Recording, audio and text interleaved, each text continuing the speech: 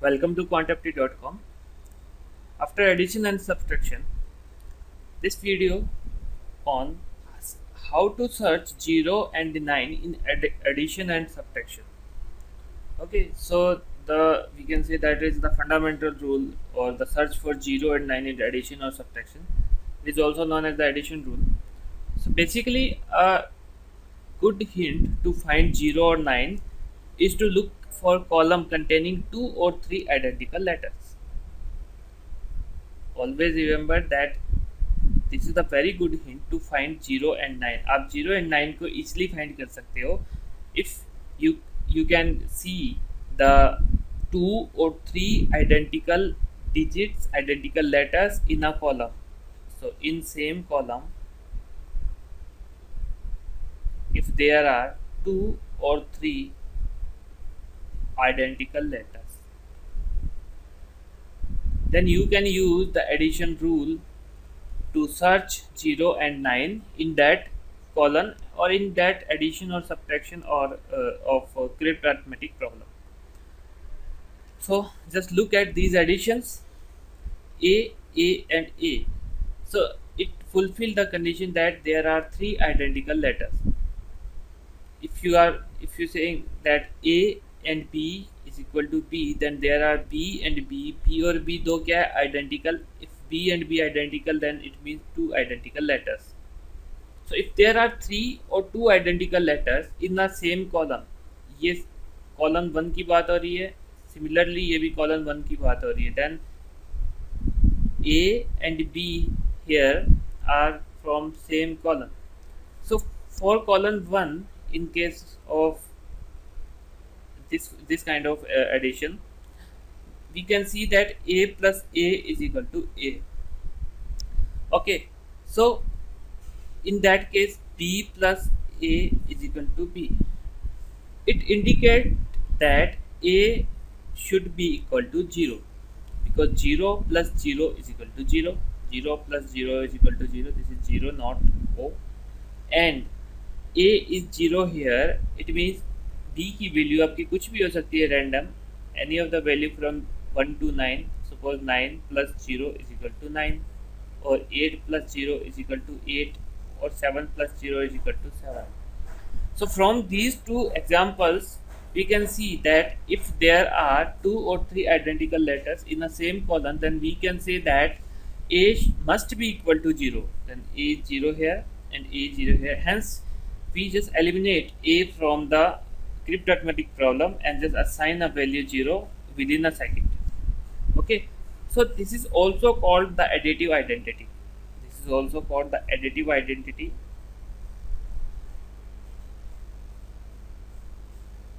Additive identity of or we can say property of 0 property of 0 we know that what is the property of 0 if you are adding 0 in any of the letter any of the digit then the letter and digit come, uh, becomes itself वही आपका जो result में जो outcome आएगा आपका वही आएगा जो आपका लेटर होगा जो आपका डिजिट होगा definitely so this is also called the additive identity or property of zero that मैं ये बता देता हूँ कि क्या है वर्डिंग के अंदर लिख देता हूँ that add zero to anything and it does not change add 0 to anything it does not change that is known as the additive identity or property of 0 so इस तरीके से हमने ज़ीरो को यहाँ से एलिमिनेट किया within a second similarly अगर हम यहाँ पे देखें A A A B A B so A is zero or or A is equal to nine how nine कैसे हो सकता है? It depends whether or not carry one is receive from the previous column ये उस पर depend करता है आपने कि प्रीवियस कॉलम से कैरी को रिसीव किया है या नहीं किया। In other words the nine like mimics zero every time it gets a carry over one अगर नाइन ने वन की कैरी कंसिडर की है इट मीन्स आपका जो ए होगा, वो नाइन होगा यहाँ पे उस केस ठीक है? इस तरीके से हम इसे एलिमिनेट कर सकते हैं। So A is equal to zero or A equal to nine here now some examples are based on the fundamental rules like P A S R B Q S P K W A S S E P B and S Q S K A W now we can see that if you know that अब अभी मैंने बताया कि case क्या था that if A plus B is equal to A then the possible value then the possible value of b is equal to 0 or 9 if a plus b is equal to a, then the possible value of b is equal to 0 to 9 0 भी हो सकती है b की value और 9 भी हो सकती है। ठीक है? 9 किस केस के अंदर होगी? अगर एक वन कैरी वहाँ से हमने ऑप्ट की है like A plus B upon A if b is 9 b की वैल्यू अगर हम नाइन कंसिडर करते हैं ए की वैल्यू हमारी कुछ भी हो सकती है फाइव देन ए की वैल्यू फाइव कब आएगी? If one carry over from the right of the corner right of the corner से राइट ऑफ़ द कॉलम से आपके पास कैरी ओवर होता है one then B should be equal to nine वही मैंने यहाँ पे लिखा है A is equal to nine कब होगा? If carry one happen here अगर वन कैरी यहाँ पे आती है then A is equal to nine like इसकी बात करते हैं अपने, इसके अंदर। इसके अंदर अगर बात करें तो ए को अगर हम कंसिडर करते हैं नाइन बी की वैल्यू अगर हम लेते हैं थ्री तो बी यहाँ पे बी आना चाहिए नीचे and B is equal to three then how it is possible that nine plus three is three but we know that nine plus three is twelve then how can it becomes thirteen अगर आपके पास जो इसका rate neighbouring जो column है neighbouring column से one carry over आप consider करते हो। If the one carry is there then nine plus three plus one that is equal to thirteen and you will get the same letter B in the result okay so remember that A plus B is equal to A only कब possible जब जब कभी भी possible है it means B की value या तो zero है या नाइन है। नाइन ज़ीरो कब होगी बी की value without any carry nine कब होगी? If a carry enter 10 here. If there is a carry then we can say that value of b is equal to 9 okay? Now you can see that k plus a is equal to a. In column 2 if we are talking about then k plus a is equal to a. So the value of k is equal to 0 k plus A is equal to A किस case में होगा? अगर आपकी value के की क्या होगी? Zero होगी। क्यों? ज़ीरो क्यों कंसिडर किए यहाँ पे मैंने? बिकॉज़ जो फ़र्स्ट कॉलम की अगर बात करें इन फ़र्स्ट कॉलम डब्ल्यू क्या हुआ? एज इट इज़ जब डब्ल्यू हमें रिज़ल्ट में डब्ल्यू ही मिला। सो so, डब्ल्यू क्या होगा? Maximum zero to nine W की वैल्यू जो होगी ranging between zero to nine so there is no carry in the first column if the no carry generated by the first column then that means that k must be equal to zero okay because अगर maximum हम number भी assign करते हैं w को then that is equal to 9 so w is at as it is in the result hence we can say that there is no carry generated from column 1 to the column 2 hence k is equal to 0 so that case supporting और case first जो हमने previous पहले देखा था case first then k is equal to 0 here and the value of A is as it is जो A से आप के को ऐड करोगे तो वो एज इट इज़ आएगा okay now for K second we can say that if A plus B equal to A when B equal to nine B equal to nine किस केस में होगा? If nine plus A